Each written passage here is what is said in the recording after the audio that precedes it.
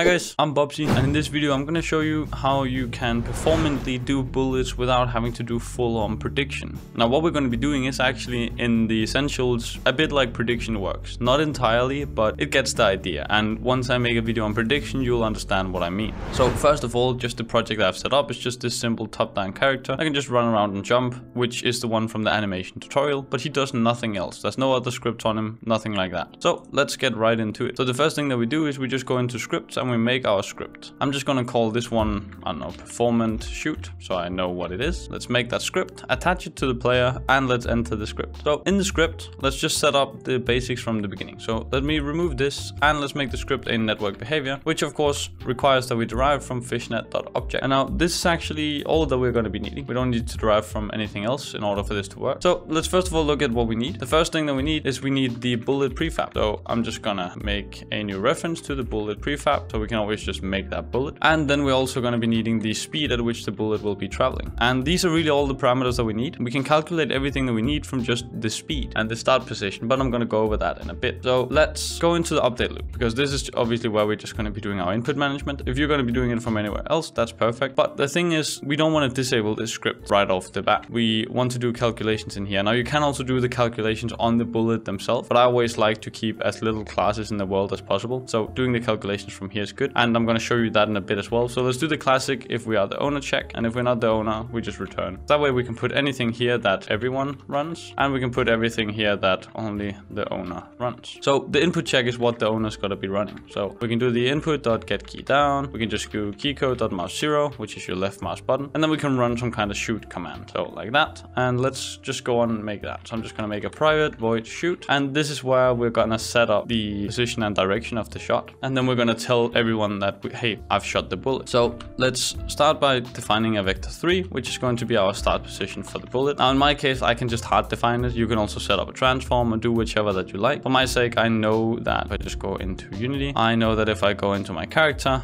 well, his starting point is down here by his feet. So what I want to do is just move up one and move out in front of him, and I want the bullet to spawn out here. So I can just do that through code by just taking his transform dot position, which is what was at his feet, and then just add the transform dot forward to make it in front of him, times that with 0.5 to make it not that far in front of him, and then I can just add the transform dot up as well, and there we go. Now what we've done is we've moved out one unit, then moved back half a unit, so we've only moved out half a unit, and then moved up one unit, and so he's going to fire from here. So now that we have the starting position, we also want the direction of the bullet. In our case, the direction is just going to be our transform dot forward, but just to make it simple, I'm just gonna make a direction variable. You could just skip this and go straight to using this one. That's what I probably normally would do. But again, you might want a different direction or something like that. If you want to calculate, you know, multiple bullets that shoot out a fan or whatever, we want a directional vector. And then all we gotta do is we gotta tell the server to spawn the bullet, but we also gotta spawn the bullet locally. So the nifty thing here is the bullet's not gonna be a network object. That's one of the reasons why this is performant is we are not actually spawning the bullet. Everybody's just instantiating their own version of it locally. So every screen has a representation of it, which we can then use the calculations of when do we send this information to calculate where is the bullet exactly in time to have it be the same on every screen. So the, these bullets are going to be on the exact same position on the screen at all times, which is extremely nifty, very performant, very lightweight. So this is why I would normally use such a system for, you know, if I had to spawn physical bullets and shoot. So let's start by doing the local shoot. So I'm going to do a private void spawn bullet local, just so we are well aware what this is. And we're just going to take in our vector 3 of the start position and the vector 3 of the direction. Just to keep it simple, we send this through. So we can now call spawn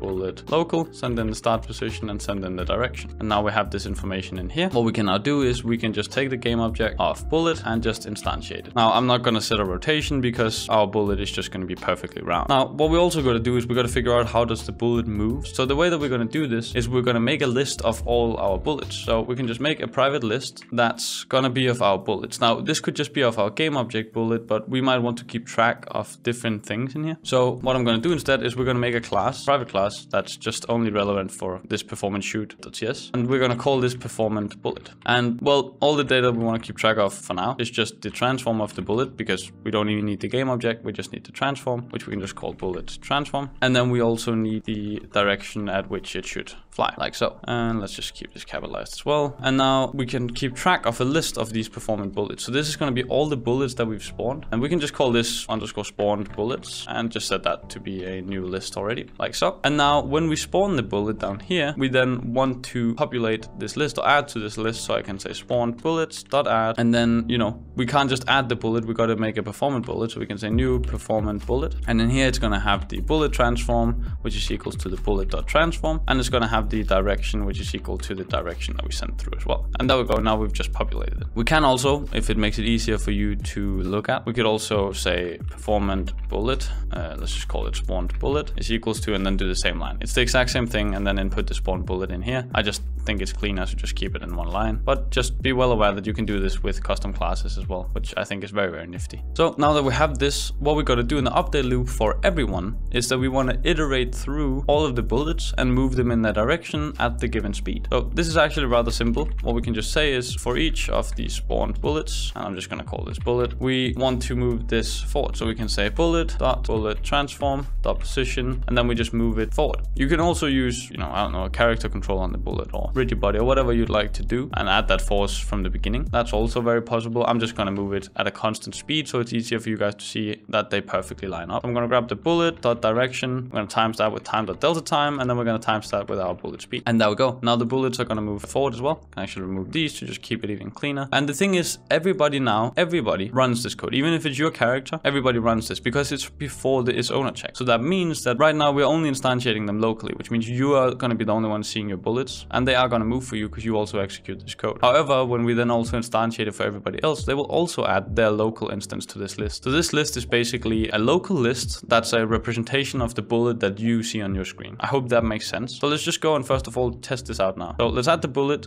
and I've already set up the bullet. It's really just a red ball and as you can see it has nothing on it. It has a collider that's a trigger. Wouldn't even need that technically. And then it just has the mesh renderer stuff. So this is just like a sphere that's red and I've just scaled it down. That's all it is. There's no shenanigans, no network objects, no nothing. It's completely local. And let's just put a speed of three, for example. So it shoots rather slowly, but so we can see it. I'm just gonna save this and let's go and try play it. As you can see now, I can run around and if I shoot, you can see it spawns the bullet and it's just gonna move forward at a slow pace. So now this works and we're making the bullets move without them even having a script on them, which I think is awesome. That just makes it even more performant. Of course, as soon as we wanna do collision detection and so on, it's gonna be the best to just have a script on them. So as you can see here, I can go over here, I can shoot, but obviously the other players are not gonna see the bullets because we've not set it up to send to everybody yet. So let's go and do that. So now at the same time as spawning this locally, we also need to send to everybody saying, hey, I want to shoot. So how we're gonna do that is we're gonna set up a server RPC that will require ownership. So we'll just keep it standard like that, make it a private void and say spawn bullet. And then we also need an observers RPC. That's everybody taking in. And on this one, it's important that we say exclude the owner because as we did up here, we spawn that bullet locally. So he does not need to do that. So we say exclude owner true. Then we can make a private void spawn bullet observer like so and we can call the spawn bullet observer from in here. Now we need to take in a few parameters here. We need to take in the vector 3 of the start position. We need to take in the vector 3 of the direction just as we did earlier. And then we also need to take in what's called a uint of the start tick. Now this is part of fishnet's tick system. Ticks are synchronized across everybody which means that this is a unit of time that we can use across every screen. And this is how what we're going to do to calculate where is the bullet in time. So the observer is going to take in the exact same data like so and we're just going to send it in here. Now let me just go over with you really quickly if I just try and draw it out. So let's say that on both screens, the player is standing right here and he fires his ball, which is, you know, he spawns it here and it flies this way. But now when everybody else received that message, the ball for him will be over here and then they will spawn the ball over here. And that's obviously an issue because then they're going to move out of sync. So on our screen, it's here and on everybody else's screen, it's going to be here. Or depending on when they receive the data, that can be different for everybody. But what we then can do is by taking the time into account, we can then say, okay, how long we taking the time and this movement speed of the ball into account, we can then calculate, okay, how far over this given amount of time that it took me to receive the data. So we send through the tick at which when we sent the data, and then they can line that up against the tick that they have on their side saying, okay, this is the tick at which he sent it, this is the tick at which I received it. So how long time has passed since this, so how far should I move? Because if you have a look at the movement calculation up here, you can see the direction is a normalized vector, which means that's that's always one in any direction. It's going to be one no matter which direction it flies, it's going to be one. And time the delta time means over one second. So this means it moves one unit over one second. And our bullet speed in this case is three. It means it will move three units each second. And that's how we can calculate using this time variable as well, is we can say, okay, how much of a second has passed? Let's say it's 0.5 seconds. Then in our case, we know we need to move half of three units, which is 1.5 units ahead. So it'll sort of move ahead, skip up here. So if the blue one is when we receive the data, it'll be here and then calculate, whoops, this is not where I need to be. I need to be half a second ahead in time, which is right here. And then they will both start moving ahead and they should be completely synchronized for everybody. So it should be very, very fast. So let me take you through how we do this. First of all, let's try and find the time difference. So we set up a float that I just called time difference. And here we need to use what's called the time manager dot tick. That's our current tick time. And then from that, we can subtract the starting tick. This means that, you know, if the starting tick is, let's say, tick 126 and our current tick is 130, that means that there's a four tick difference, which is what we can use to calculate time. And now, as you've probably heard before with multiplayer games as well, there's something called a tick rate. That's how many ticks is on a second. And this is how we can calculate the actual time difference. So we can say from standard, Fishnet has a tick rate of 30. You can actually change and manipulate this tick rate as you wish. It shouldn't make a difference for this system because we're going to take it into account that it's a fluid or dynamic variable. But if you go onto your network manager, it will be added automatically at runtime. But you can actually